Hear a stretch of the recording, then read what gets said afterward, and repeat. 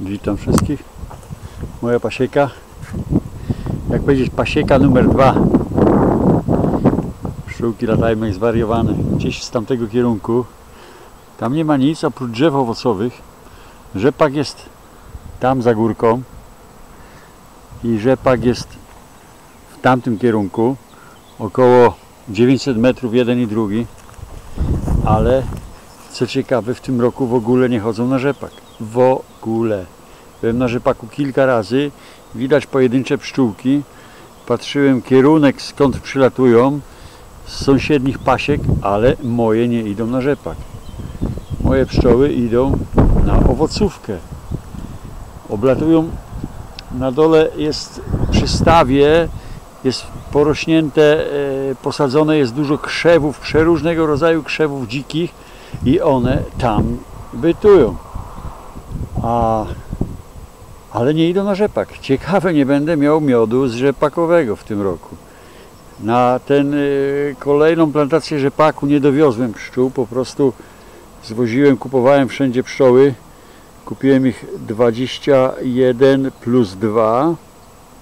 Dwa, dwa są nie moje, są u mnie, ale to są nie moje pszczoły czyli mam w tej chwili 28 rodzin plus dwa odkłady zrobione już w tym roku. Jeden, jeden e, ze starą matką. Pszczoły chciały wymienić matkę z zeszłego roku z żółtym opalitkiem zakupioną. E, zrobiłem z tego odkład.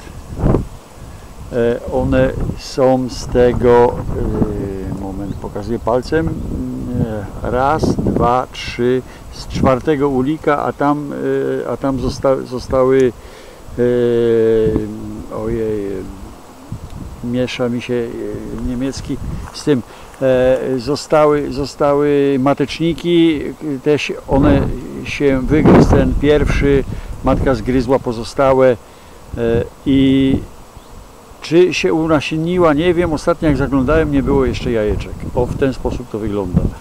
Nie pokazuje samej pracy, po prostu y, nie można trzymać aparatu i, i, i, pracować przy pszczołach. Jadę w tej chwili na pasiekę numer 3, tam stoi 12 rodzin. 10, e, 12 y, zakupionych, ale 10 z jednego miejsca, dwa z, z Allensbach, to jest ten półwysep, na którym leży Konstanc e, na Jeziorze Bodeńskim. Tam stamtąd są kupione dwa ule. Zaklinała się e, klientka, pszczelarka, od której kupiłem, że e, krainka, okazało się, że krainka mm, żółta z bakwastem. A wczoraj byłem tutaj, wykosiłem trawę, no tak porwałem krzywą jak mogłem, jak umiałem. Znaczy nie, umiem lepiej, ale tu jest po prostu e, zepchnięty, zepchnięte śmieci na dół i, i nierówno porąbałem to tak te pokrzywy i trawa, która porosła, żeby pszczołom było lżej latać, lżej lądować, tam jeszcze widzę, a to wieczorem wyrwę. Ok, no i, i postawiłem tutaj, postawiłem tutaj, tam widać w krzakach. Opsa, widać, nie wiem czy widać, podejdziemy bliżej, może coś przylatuje. Posmarowałem to trochę olejkiem od z melisy może coś przyjdzie, kurczę, coś tam widzę. Wczoraj postawienia coś przylatywała, tylko jakaś mucha. E, po, e, ponieważ e, co u naszego byłego szefa naszego koła, byłego, ponieważ były nowe wybory, jest nowy szef. Wczoraj odwiedzałem go, na niego, gdzie zbierał rójki pszczoły roją się tutaj już na gwałt. Oczywiście nie wiem jak oni to robią. Oni prowadzi pasiekę na tak zwanym cadant, czyli cander, mas candera i do, do, dolny korpus jest 30 cm, e, cander jest 23 e, a tam ma na, 20, e, czyli 22 ramka po zewnętrznej cander ma chyba 30 nie wiem czy 30 w każdym razie wyższa ramka jest i całe gniazdo trzyma na dole, no i stało się, nie? Za mało miejsca. Jak ja, e, młody pszczelarz, mówił mu, że pszczoły rozwijają się obecnie dużo mocniej, dużo silniej i że to jest za mało, no to on się ze mnie śmiał. To ja w tym roku jeszcze rójki nie zbierałem, a on już zbierał.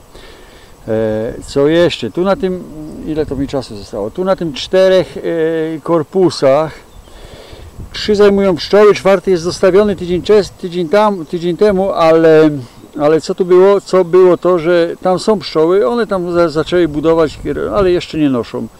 Jeszcze nie noszą, było trochę chłodniej i po prostu to jest, yy, przyznam się, że jest tam matka z żółtym opalitkiem 44 numer, ale czy to jest Elgon, czy to jest Buckfast, e, komórki 4,9 nie robi, pokrzywił całą, ale mam rodzinę y, na tej pasiece pierwszej koło domu, tam mi została jedna rodzina i tam jest Elgon i komórkę 4,9 pięknie ciągnie.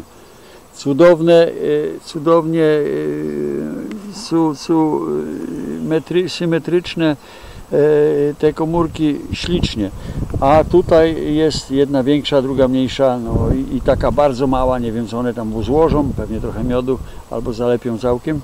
W każdym razie nie radzą sobie z tą komórką. Jakiś podejrzewam nie Elgon, tylko Buckfast albo Elgon, no, e, albo Elgon, e, e, który e, tutaj gdzieś e, nałapał, e, nałapała mateczka mm, karniki, nie? I, i, no i stało się. Ale ja powiem szczerze, że w tych wszystkich ulach jest dołożona 4,9 na konto kontroli i zobaczymy, które z tego. I z tych uli, które są na komórce 4,9 zrobię trochę odkładów i no, będziemy to mnożyć, nie? Zobaczymy jak to będzie wychodzić. Jadę teraz na następną pasiekę, tam muszę zrobić gruntowy przegląd. Była kupiona, e, pu, zapomniałem kiedy, ale nieważne. Każdym razie już trochę stoją. Dołożone są, to już dwa tygodnie na pewno, dołożone są e, półkorpusy na górę z ramkami, ale byłem e, też wczoraj zajrzałem króciutko i one po prostu tam nie wchodzą na te półkorpusy. Muszę zobaczyć co jest czy ich tam jest po prostu za mało, nie, no za mało nie może być, bo przekładałem wszystkie, to, to wiem jak, jak i pełno pszczoły i pełno czerwiu było, zakrytego, odkrytego. No po prostu nie umieją wejść na tą, na, na, na tą małą ramkę. No, jadę zobaczyć, przejrzę to, może, może podwieszę dwie, trzy ramki wyżej na półkorpus, dołem zostawię taką lukę, najwyżej zrobią, e, zrobią tam e, te e, trutowe później wytnę i, i, i obniżę z powrotem.